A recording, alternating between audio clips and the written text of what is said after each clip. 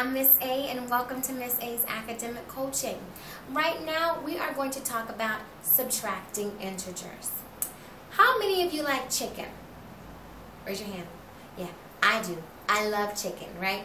What about KFC, Kentucky Fried Chicken? Mm-hmm. I know you're getting hungry, you're getting hungry, but we're not talking about chicken today. We are talking about KFC, and the KFC I'm talking about is keep, flip, and change. This is what's going to help you know what to do when you are subtracting integers. So let's say I have negative 5 take away 3.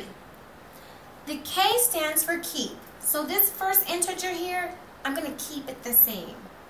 So negative 5. The F stands for flip. This subtraction sign, I'm going to flip it from subtraction into addition. And then the C stands for change. This is a positive 3, so guess what? I'm going to make it or change it into a negative 3. So now I have changed my subtraction problem into an addition problem. Negative 5 plus negative 3. Ah, that's a love situation. Remember from the last video, if we have two integers that are the same sign, which these are both negative, all we do is we add them and we keep their sign. So negative 5 plus negative 3 gives me a negative 8. Alright, we got it? Let's try a different example. Where's my eraser? Here it is. How about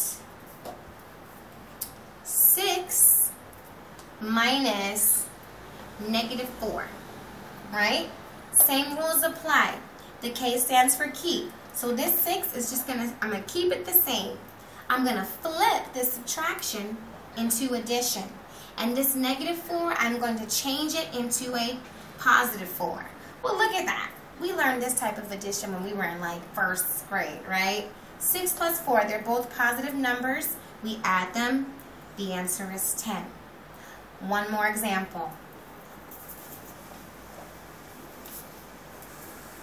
What if I have 8 minus 12. Well, a lot of students would look at that and not really, you know, think too deeply and then say, oh, that's, that's 4, right? Not quite. We're still going to use KFC. I'm going to keep my 8 the same. I'm going to flip this into what? Addition. And I'm going to change this positive 12 into a negative 12. Well, now we have a war situation. Remember in the previous video, we said if we have two numbers that we're adding and their signs are different, it becomes a war. And we have to figure out which team, the positive team or the negative team, which will win the war. Well, like over here, the positives, they have eight soldiers on their team, right? But the negative team has 12 soldiers. So who do you think is going to win?